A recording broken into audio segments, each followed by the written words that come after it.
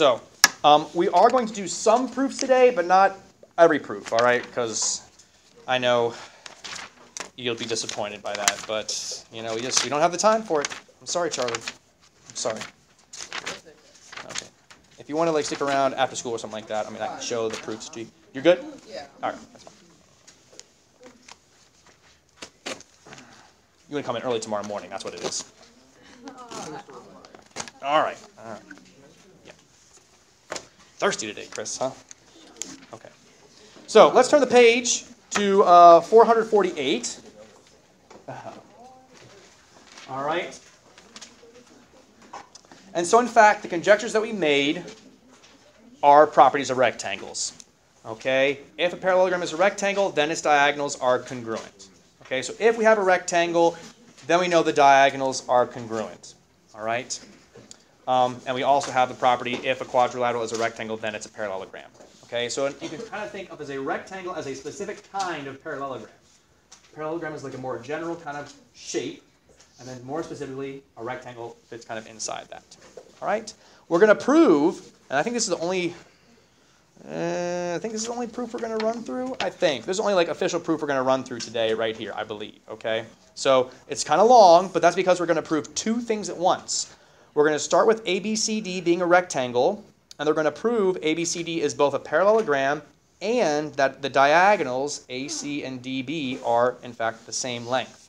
Okay, and you can see how we're how we're going to kind of do it here. We're going to take ABCD, we're going to draw the diagonals in, and then we also kind of separate two triangles out of this rectangle. Right? You can see triangle ADC, which is right here, and then also triangle BDC, which is right here.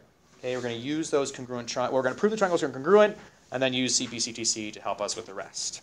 Okay, so let's go through this here. So ABCD is a rectangle. That's the given, so we don't have to you know, do anything there. Angle A and angle C are right angles.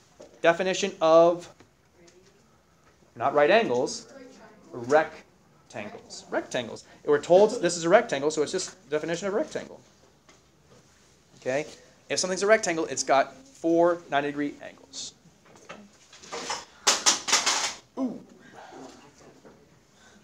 Okay, so um, angle A and angle C are congruent, and because all right angles are congruent, yeah, I think it's going from bad to worse. There we go. All right, so then um, angle B and angle D are right angles. How do you know that's true? Definition of rectangle again. I don't know why they just didn't do all that in one step, but they're doing it in two steps here. Okay? And so then angle B is congruent to angle D because all right angles are congruent. Yeah, all right angles are congruent. I mean, I guess you could potentially. No. I don't think transitive would quite work there. Okay? So you'll notice here A and C are opposite angles. D and B are opposite angles. And so then we say, therefore, ABCD is a parallelogram because what kind of properties guarantee that something is a parallelogram? If opposite sides are congruent? Aha, and that's what we just showed right here, right? Opposite angles are congruent.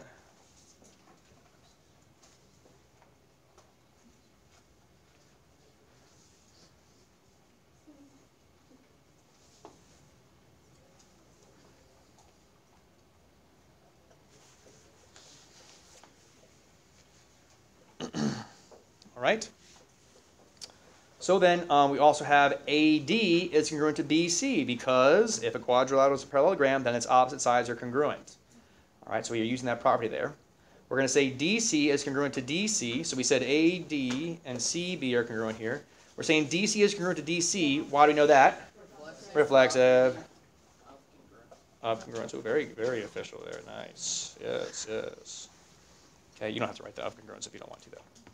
All right, angle D and angle C are right angles. Definition of rectangle, right? Okay, so we have these angles are also then congruent because all right angles are congruent. And so what kind of triangle congruence do we have here? Side angle side, SAS. And we're going to name our triangles here. So we'll say triangle ADC is congruent to BCD. Very good. Okay. And then finally, finally, finally, what were we trying to prove is congruent in the first place here? AC is congruent. We were, we were trying to prove that, but we did that right here. So we did the first part right there, but then the second part, AC is congruent to BD, right there, by CPCTC. Okay. So wow, 12-step proof. Okay, 12-step proof, but we made it through, and you know most of it makes sense, I think, right? This is kind of triangle congruence. All right. So now we have the fact that if we have a rectangle, then the shape is um, a parallelogram as well. And if we have a rectangle, then the diagonals are congruent. So go ahead and use those properties to help you answer number five. Okay? Maybe you want to label your picture there, but I want you to come up with a measure of dB. Come up with a measure of dB using the fact that if a shape is a rectangle, it's a parallelogram, and if a shape is a rectangle, the diagonals are congruent. Okay, so use that to help you answer number five. You don't need to do six as well, just number five is fine.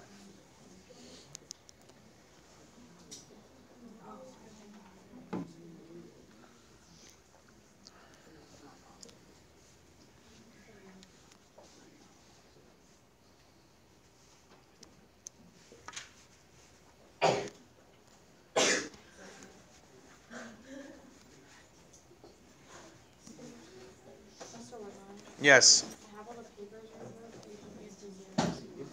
Oh, okay. Um, how about we check those out when we get to start on the homework? All right. Just, I mean, I'll do it, no problem. But I just want to make sure. This that you.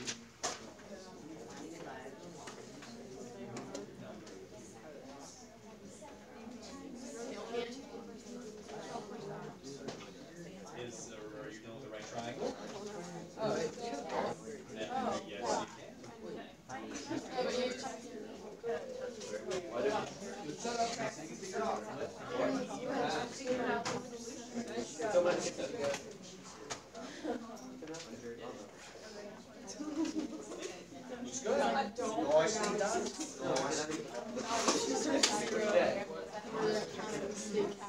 Yes.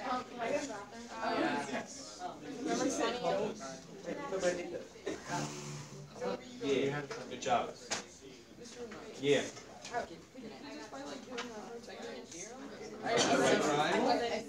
Yeah, it is. Then you can. Oh, then you do that, and that be the same as that, right? Yeah, yeah, exactly. Yeah, yeah. Not too shabby. Um, yes.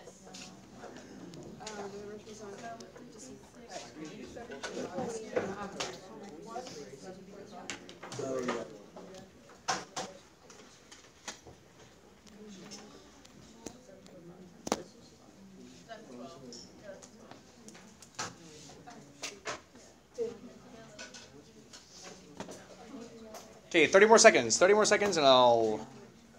Show the answer here.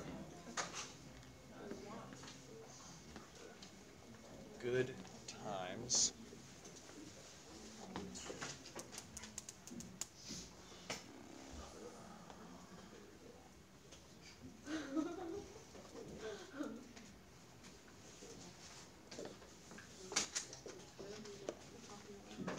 Okay, time's up. I don't have an answer. But it's 12.5.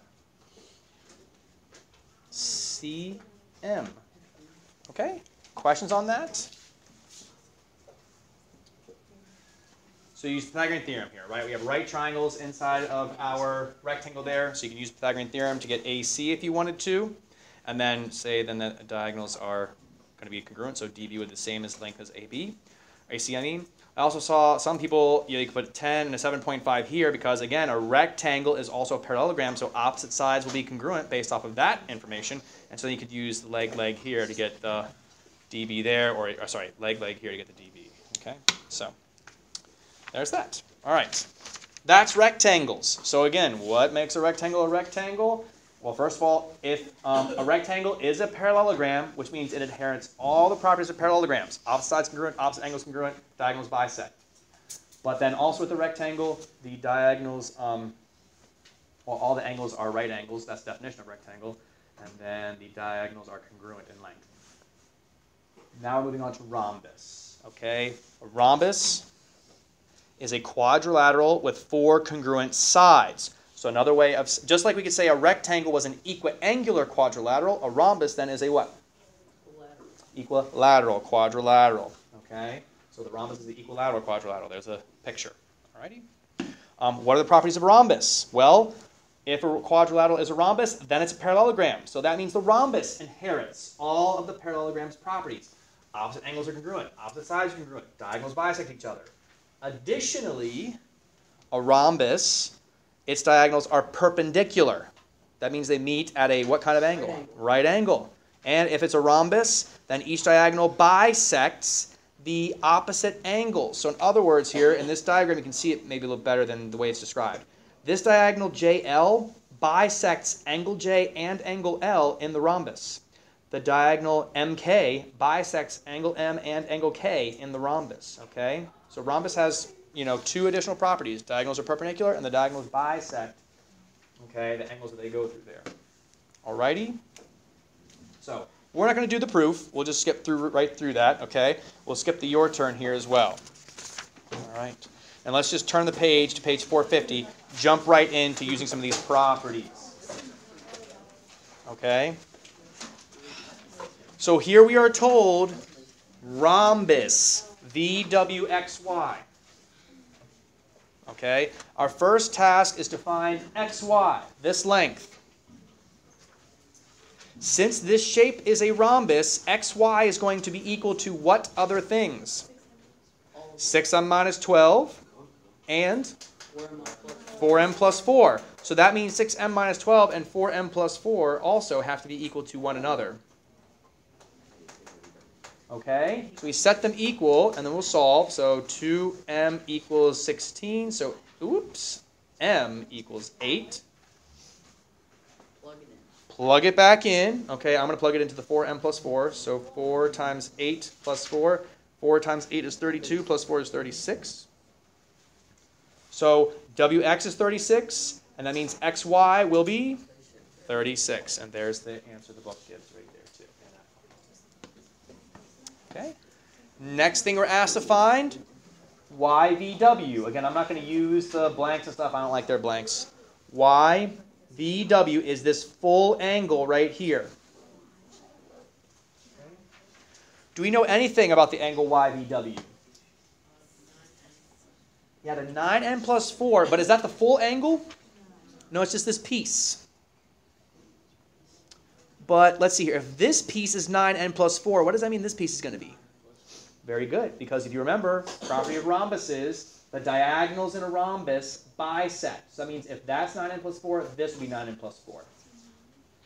Okay, so we know then that YVW is going to equal twice 9n plus 4, right? Two times that amount. That amount. Well, the problem is, what is what is n, right? How can we figure out what n is? 9m plus 4 equals 9. So we can set them equal, but if we do 9n plus 4 equals 9n plus 4, we're going to run into a problem, aren't we? We're going to completely cancel out, and it's going to end with 0 equals 0. Right? Subtract 9n from both sides, subtract 4 from both sides, you end up with just 0 equals 0. So we can't use them. We, I mean, if there was another situation, maybe, but in this case, it's not going to be helpful. So what else do we know? Yes? Bella? Wait, is the arrow, or like, you know, the three n squared minus, 0.75. that one? Okay, so that's pointing to this angle right here. What do we know about this angle right here?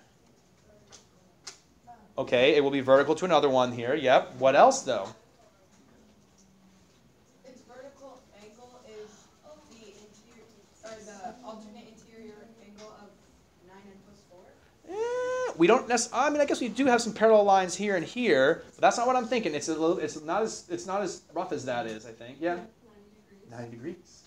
The diagonals of a rhombus are perpendicular, right? That was the other property. So the diagonals are, um, well, the diagonals create these angle bisectors here. They are angle bisectors there, but they also meet at a right angle. So 3n squared minus 0.75 has to equal 90. and so then we can add 0.75 over. We get 3n squared equals 90.75.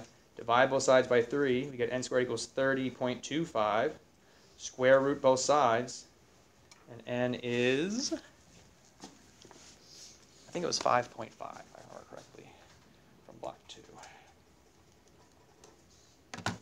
Yes. Okay. And it's 5.5, which then we can plug in here.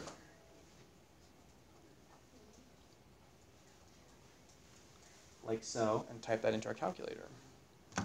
2 times 9 times 5.5 plus 4. Okay, and we get 107. Okay, so angle YVW is 107 degrees. Okay, the full angle here, YVW. Okay, question, James? What other angle in our rhombus is going to be 107 degrees? YXW, the opposite angle. Very good. Okay. Um, what about VYX? How can we find its measure? VYX.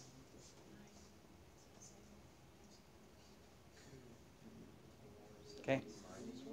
180 minus 107. Right, they're going to be supplementary. If that's 107, this will be supplementary to that. So it'll be, and there's the question for it, 180 minus 107, which is going to be 73 degrees. Okay, what will the measure of angle XYZ, XYZ be? XYZ. So again, here is 73, half of 73, exactly right. So 36.5, I think. Yes. Okay. So again, just some ways you can use those properties to help you figure out other, you know, pieces of information and stuff like that. Okay. This is not trivial, right? It gets a little confusing. You got to keep all these properties in line. All right. Um, so be careful there. Questions on any of that? All right. And then the last one here, we don't really have any examples for. It's just a square. Okay. A square is a quadrilateral with four sides congruent and four right angles. Or in other words, a square is what kind of quadrilateral? A Okay, it's equilateral and equiangular, so therefore it's really regular. Just a regular kind of guy. All right, or gal. It's a square. Who knows? Okay. So anyway, um, square.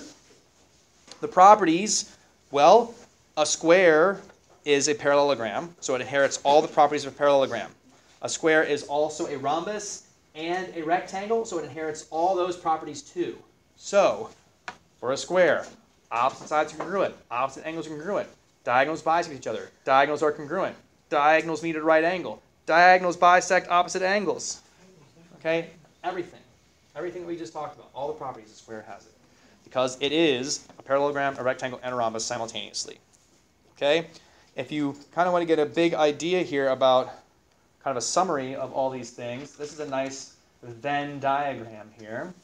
Okay, to describe um, the organization of this, right? We have the quadrilaterals, which is inside of a quadrilateral itself. I don't know if that's on purpose or not. Um, and then within that is the parallelogram. So that means we have quadrilaterals that are not parallelograms floating out in here, right? Um, parallelogram, and then inside of that, we have an oval of rectangles and rhombuses, and where they overlap, that's where the squares are. Rectangles where, where something is both a rectangle and a rhombus together, it's a square. Okay? And since these all are contained within the parallelograms, then these three things are all parallelograms. Okay? So a little bit of organization there. Maybe it's helpful, maybe it's not. All right, I'll give you an assignment for this section in just a moment. We're going to quickly go through the next section, okay, which is um, nine four. You can actually turn to page 460, or nope, nope, nope, 461. 461. Okay, so now we're going to work kind of backwards. Okay, in the previous section, if we had a rectangle, then we had these properties that were true. If we had a rhombus, then we had these properties that were true. If we had a square, then these properties were true. Now we're saying, here's a shape with these properties. Is it a rectangle? Is it a rhombus? Is it a square? Is it even a parallelogram? Those are the things we want to be able to answer. Okay? So, what are sufficient conditions for something to be a rectangle? Well, if one angle of a parallelogram is a right angle, then the parallelogram is a rectangle. So if you have a parallelogram here and you see one right angle, that means all the rest of them are going to have to be right angles based off those co-interior angles and stuff like that. Okay? Likewise, if the diagonals of a parallelogram are congruent, then the parallelogram is a rectangle. So if you have a parallelogram and you know the diagonals are congruent, guaranteed that thing is a rectangle. Okay? You'll notice for both of these conditions, it requires that you already have established the shape as a parallelogram first, then with these additions, you can say the shape is more specifically a rectangle. Okay? So we have to first establish its parallelogram. We already talked about how to do that yesterday, for those of you that weren't absent. If opposite sides are congruent, or if opposite angles are congruent, or if diagonals bisect each other, you're guaranteed to have a parallelogram. And then from that, additionally, if one of your angles is a right angle, rectangle. Or if one, um, if your diagonals are congruent in addition to being bisect, in addition to bisecting each other, then it's also a rectangle. Okay. So those are your conditions right there. So let's see here. Did I want to? Yeah. Let's talk about these these right here. Okay, because this is what we want to be able to do. So we've got this shape. All we're told about this shape is that it's a quadrilateral. That's it. Four-sided shape. Nothing more specific than that. For number four, we're given additional information. We're told that EF is congruent to GF. Okay? We're told that FG, which is this side, we'll just leave that tick mark, is congruent to HE, that side. And we're told that FH is congruent to GE. So these diagonals bisect. No, sorry, they don't bisect, they're congruent. Okay. Is this thing necessarily a rectangle? So let's just, first of all, can we even establish if this thing is a parallelogram first? Are opposite sides congruent? We have one pair, but we don't have this pair. So is that enough? Nope. Are opposite angles congruent? Can't really tell, right? Not really sure. I mean, they look like it, but do we have information that can guarantee it? No. Nope. Do the diagonals bisect? It looks like it, but what are we told? All we're told is that the lengths of the diagonals are the same. Is that the same thing as saying the diagonals must bisect? No, it's not. So, so the answer here is is it necessarily a rectangle? No. No. Okay? It's not necessarily a parallelogram. So it mustn't be a rectangle. Could it be a parallelogram? Sure. Could it be a rectangle? Maybe. Okay? But it's asking if it must be necessarily a rectangle. So it's not enough information. All right. And certainly if something's not a parallelogram, then it cannot be a rectangle. Okay. All right, number five. All we're told for this now is that FEG, FEG, this angle right here, is 45 degrees. And we're told that GEH, GEH, this angle right here, is 50 degrees. Can we must this shape now? Again, ignore all the tick marks because this is just a new scenario now. With just those two angle measures, can we say that this shape is a rectangle? No. Okay, in fact, we know it cannot, right? Read, why not? Oh, because um, rectangles have to have four ninety degree angles. Four 90 degree angles. And what's what do we have here? We got a 95, okay? So yeah, 45 plus 50 equals 95. This shape cannot be a rectangle for sure. Like we can like definitely say it. Here, yeah, maybe. Not quite enough information yet. But here, for sure, not a rectangle. Okay? This gets a little nebulous, right? Like this is like a little bit different. You know, we're often we're used to in math being able to say the answer is this, okay? But here, sometimes our analysis leads to inconclusive. Number five, conclusively, not a rectangle. All right, moving on. Rhombuses. All right. You'll notice again, parallelogram, parallelogram, parallelogram. So again, to show that something's a rhombus, you kind of have first to establish that it's a, a, a parallelogram first, and then you can add on to see if it's a rhombus. So if you have a parallelogram and one pair of consecutive sides are congruent, then the parallelogram is a rhombus. So one pair of consecutive sides, like this and this, right? They're next to each other, consecutive, in order. Okay? That would create a rhombus because opposite sides in a parallelogram are equal, right? So this is equal to this, but they're also equal to this and this too. That would create a rhombus. If the diagonals of a parallelogram are perpendicular, so if, if they have all the properties of a parallelogram and they're also perpendicular diagonals, guaranteed to be a rhombus. And then finally here, if one diagonal of a parallelogram bisects a pair of opposite angles, so all you need is one diagonal to bisect a pair of opposite angles, that guarantees the thing to be a rhombus. Okay? So that's that. Let me see. Did I? Oh, there it is. All right. We're not going to prove these things, okay? So the next two things we like to prove that. We're not going to do that. Much. Too, too much. Okay? And the very last thing here, we talk about squares. Okay? And how do you show that something is a square? Well, if you show that it's both a rectangle and a rhombus, then you're guaranteed that that thing is a square. Okay? Or you could also do the definition of a square. If you show that all the angles are equal and all the sides are equal, you can do say it's a square as well. Okay? And I think that is it that I need to worry about there with you guys. Yeah. Okay, so that's all I've got for you here. Okay, so this this second section is a little bit trickier because you have a lot of shapes now to consider. Okay, and a lot of properties to consider as well. So not trivial, but I want to give you the opportunity now to get started on it, so that way you can have plenty of time to ask questions. Oh, it's it's right here. There it is in blue. Okay. So let's go ahead and get started on that. If you finish this, you want to get started on your TenMarks, I'll be happy to help you with that too. Okay. Please use your time wisely. Okay. What? What am I saying weird? Yes, you may.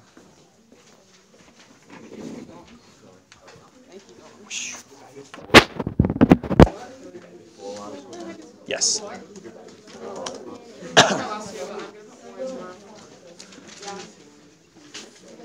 Yes. Yes. Have a party in the bathroom.